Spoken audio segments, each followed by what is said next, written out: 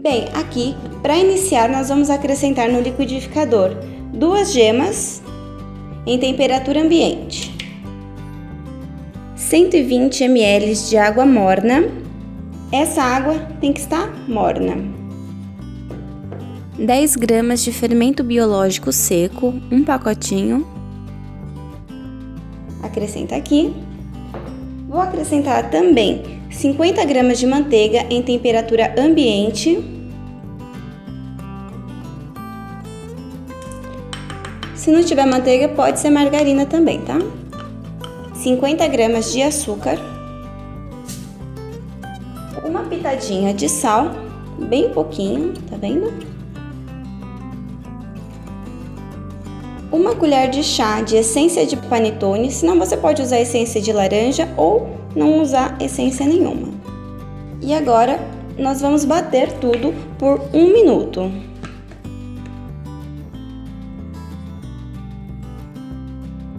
Agora despeje essa mistura que nós batemos em uma vasilha. E nós vamos acrescentar 300 gramas de farinha de trigo, só que eu vou ir acrescentando aos poucos, tá?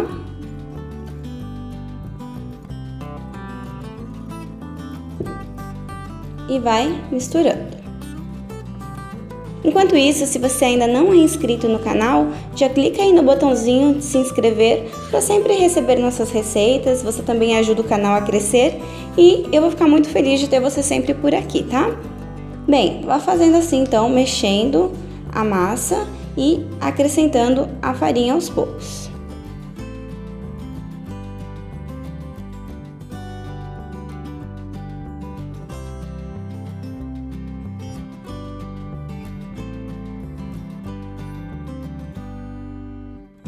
Eu vou acrescentar aqui 40 gramas de frutas cristalizadas e 40 gramas de uva passas.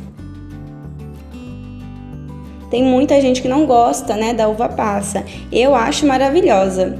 Me fala aqui nos comentários se você é do grupo que ama ou odeia uva passas.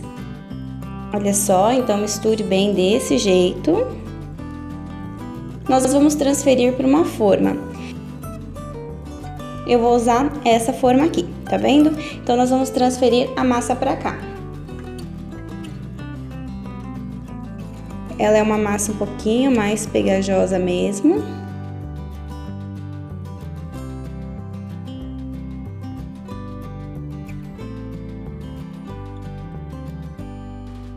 Ajeite assim a massa na forma.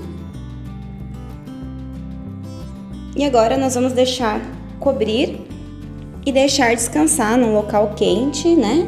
Num local quentinho, que não seja muito frio, por 40 minutos.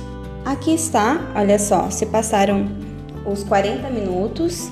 Ela não cresceu tanto porque é uma massa um pouco pesada, é assim mesmo.